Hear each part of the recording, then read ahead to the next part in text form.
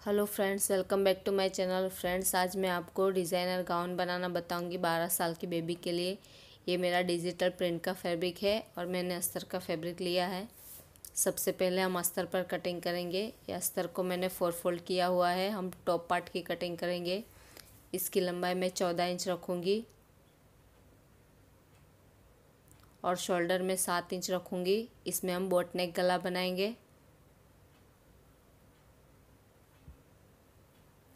Arm hole की length में छः इंच रखूँगी।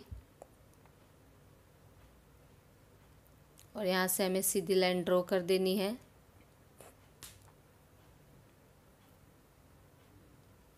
यहाँ से हम चेस्ट का मेज़रमेंट लेंगे। चेस्ट हमारी बेबी की जो भी हो उसे डिवाइड बाय फोर करके उसमें दो इंच ऐड कर देना है सिलाई के लिए। मैंने दस इंच पर निशान लगाया है और यहाँ पे हम कमर की चौड़ाई का निशान लगाएँगे। मैंने नौ इंच पर निशान लगाया है। और सीधी लाइन ड्रॉ कर देनी है। साइड से भी हम लाइन ड्रॉ कर देंगे। आर्म होल के लिए हम डेढ़ इंच पर निशान लगाएँगे। बैक आर्म होल के लिए और फ्रंट आर्म होल के लिए वन इंच पर निशान लगाएँगे और दोनों निशानों को हमें राउंड शेप ड्रॉ कर देना है। गले की चौड़ाई में चार इंच रखूँगी। और आगे की गले की लंबाई में साढ़े तीन इंच रखूँगी। Three and half inch. और पीछे के गले की लंबाई में दो इंच रखूँगी। और हमें इसमें बोट शेप ड्रॉ कर देना है फ्रंट और बैक नेक में।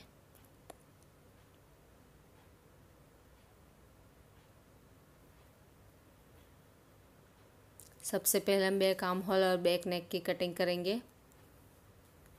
और इसमें से एक पार्ट को निकालते हुए हमें इसे वापस से टू फोल्ड कर देना है। और फ्रंट आर्म होल और फ्रंट नेक की कटिंग कर देनी है। ये मेरे दो पीस है अस्तर के। अभी मेन फैब्रिक को हमें मेन फैब्रिक के ऊपर हमें इसे रखते हुए सिंपली ड्रॉ कर देना है। जिस, इसी तरह से हमें ड्रॉ कर देना है दोनों फ्रंट और बैक पार्ट में।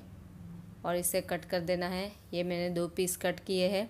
अभी हम बॉटम पार्ट की कटिंग करेंगे। अस्तर को मैंने ट्रायंगल शेप में बिछा दिया है और ऊपर के पार्ट को रखते हुए हमें इसे ड्रॉ कर देना है राउंड शेप। और इसकी लंबाई में थर्टी सिक्स इंच रखूँगी। छत्तीस इंच रखूँगी।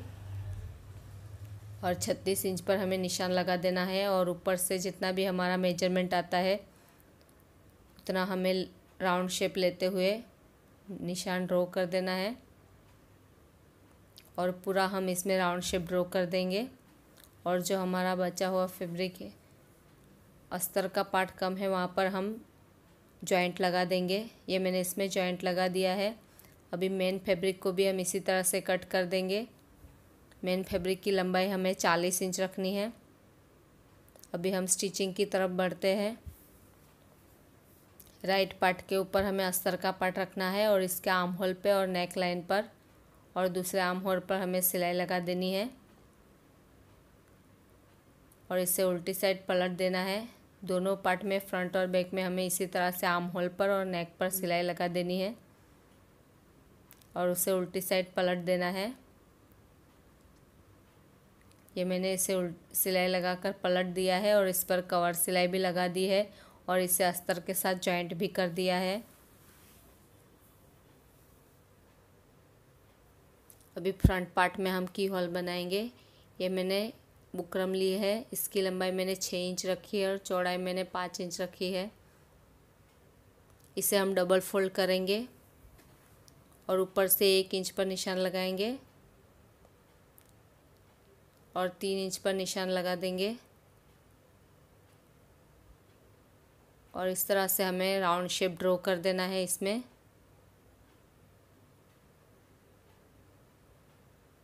बाहर की साइड से भी हम राउंड शेप ड्रॉ कर देंगे वन इंच के डिस्टेंस पर।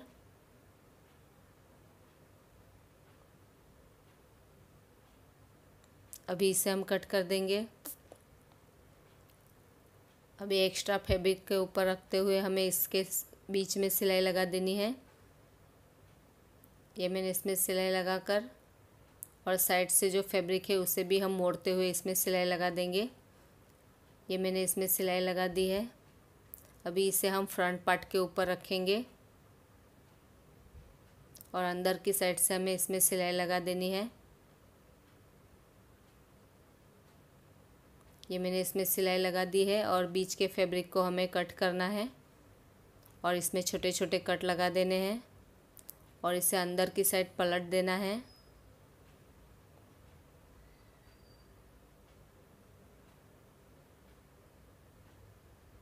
और इसके ऊपर हम कवर सिलाई लगा देंगे और पीछे की साइड से हम इसमें हैंड स्टिच कर देंगे।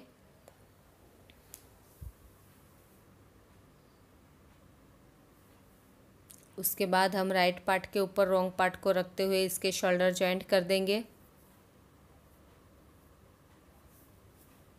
राइट पार्ट के ऊपर दूसरा पार्ट हमें उल्टा रखना है और इसके शोल्डर जॉइंट कर देने हैं। ये मैंने इसके शोल्डर जॉइंट कर दिए हैं। अभी हम इसमें बॉटम पार्ट जॉइंट करेंगे। मेन फैब्रिक को और अस्तर के फैब्रिक को हमें एक दूसरे के साथ जॉइंट कर देना है सिलाई लगाकर, ऊपर की साइड से। और फ्रंट पार्ट में और बैक पार्ट में हमें इसे अटैच कर देना है।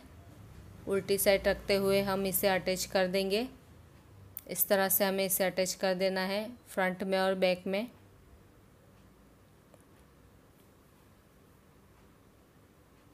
ये मैंने इसमें अटैच कर दिया है फ्रंट पार्ट और मैंने पीछे की साइड जिप भी लगा दी है। अभी हम इसकी फ़िटिंग करेंगे। इस तरह से हमें इसका मेज़रमेंट ले लेना है।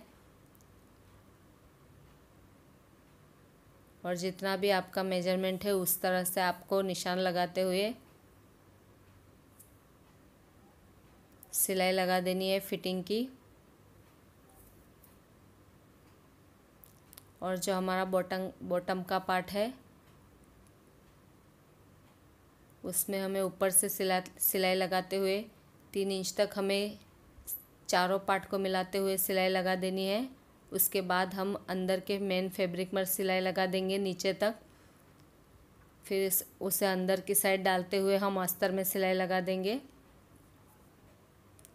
सबसे पहले हमें मेन फैब्रिक में सिलाई लगा देनी है, फिर उसे अंदर की साइड डालते हुए हम अस्तर के पार्ट में सिलाई लगा देंगे नीचे तक।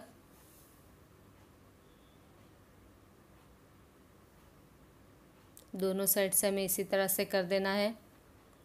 और नीचे की बॉर्डर को भी, हम अस्तर की बॉर्डर को भी टू फोल्ड करते हुए पूरे में सिलाई लगा देंगे और मेन फैब्रिक की बॉर्डर को भी हम पूरे में सिलाई लगा देंगे डबल फोल्ड करते हुए। ये मैंने इसकी फ़िटिंग भी कर दी है और नीचे की बॉर्डर को भी टू फोल्ड करके मैंने सिलाई लगा दी है। और इस तरह से हमारा डिज़ाइनर गाउन बनकर रेडी हो चुका है। फ्रेंड्स अगर आपको मेरा ये वीडियो पसंद आया तो मेरे वीडियो को लाइक कीजिए शेयर कीजिए और अगर अभी तक आपने हमारे चैनल को सब्सक्राइब नहीं किया है तो प्लीज़ इसे सब्सक्राइब कर लीजिए। साथ में बेल आइकन को भी प्रेस कीजिए, ताकि आपको मेरे आने वाली वीडियो की नोटिफिकेशन सबसे पहले मिल सके। मेरा ये वीडियो देखने के लिए thank you so much guys अभी हम मिलते हैं हमारे नेक्स्ट वीडियो में। तब तक के लिए बाय